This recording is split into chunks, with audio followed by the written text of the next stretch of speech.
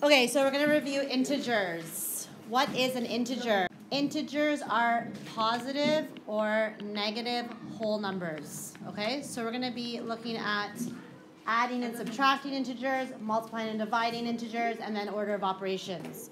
So, step one.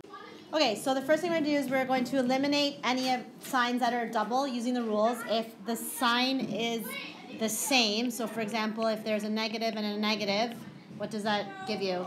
Good. If they're the same, positive and positive, that also gives you a positive. And if the signs are different, does not matter the order, positive and negative give you what? Negative, right? So same signs give you positive, different signs give you negative. So if the signs are different, your result will always be a negative. If the signs are the same, your result will be a positive. So let's look for signs that are the same. If there's double signs, we can change them. We have two negatives here. So what can we do with that? So we can change that. We can write negative 3 plus, good, 2. Then what happens here? We have plus minus. What does that change to? A positive and a negative changes to a negative, right? Minus 5. And then we just have minus 3. There's, there aren't two signs there. And then we have plus 10. There are not two signs there. We just do this in order now. We'll do it step by step because I want to break it down for you, okay? Okay, so we're going to read this from left to right. The first thing we read is negative 3, look here, plus 2. What is negative 3 plus Negative 3 plus 2 is negative 1. So I've just simplified that.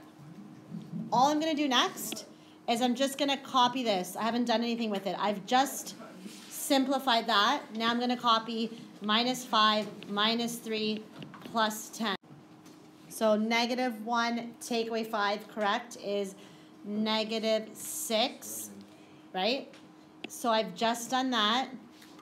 And now, again, I'm just going to copy the rest of my sentence. This is like English, right? Left to right, I have negative 3 plus 10. Negative 6 take away 3. So again, if you need to use your calculator, you can. What's negative 6 taking away 3 from negative 6? We get negative 9. Good. And I have to write the plus 10 because I didn't do anything with that. And now, last and final step. We only have one operation left. We have negative 9 plus 10. Plus 1. 1. Doesn't matter if you write positive 1 or if you just write 1.